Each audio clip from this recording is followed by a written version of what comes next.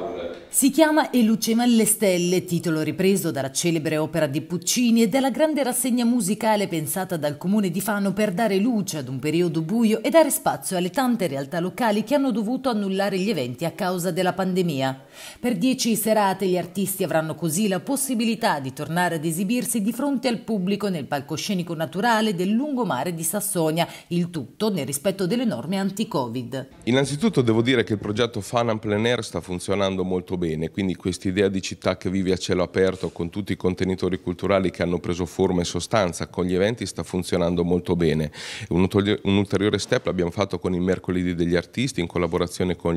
con i locali e gli artisti della città, ora un ulteriore step lo facciamo nella zona mare con un progetto che si chiama Lucevan le Stelle dove l'anfiteatro Rastat si trasformerà in una bellissima area spettacoli, ci saranno una decina di spettacoli che saranno veramente molto interessanti e daranno valore ai nostri contesti culturali e alle associazioni della città. Si partirà il 13 agosto con Qui dove il mare luccica con la band Piazza Grande e Iskra Menarini che si esibiranno in un tributo a Lucio Dalla. Venerdì 14 evento speciale dell'Orchestra Sinfonica Rossini che porterà in scena un omaggio a Morricone con la partecipazione straordinaria del direttore artistico Daniele Agiman. Sabato 15 invece il re del pop sbarcherà a Sassonia grazie alla tribute band Jackson One che farà rivivere l'indimenticato Michael Jackson. Frontman Roy Paladini a detta della critica la voce italiana più simile all'originale. Il 16 e il 17 poi si farà un tuffo nel passato con le serate medievali a cura del gruppo storico La Pandolfaccia. Il 19 sarà il turno del coro Una scuola tra le note che si esibirà per la prima volta dopo il lockdown, mentre per venerdì 20 è in programma un viaggio tra la musica con i The Best Of che porteranno in scena i più grandi successi dagli anni 50 ad oggi. Questo è il programma attuale, le serate non sono finite, potranno prendere forma anche altre attività in collaborazione con le tante associazioni